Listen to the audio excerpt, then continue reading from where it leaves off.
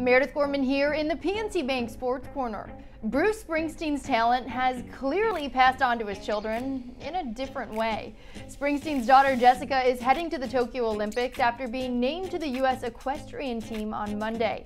Jessica saying in an Instagram post, quote, been dreaming of this since I can remember. Endless gratitude for my team, friends, and family for helping me make this a reality. PNC Bank helping to make banking easier.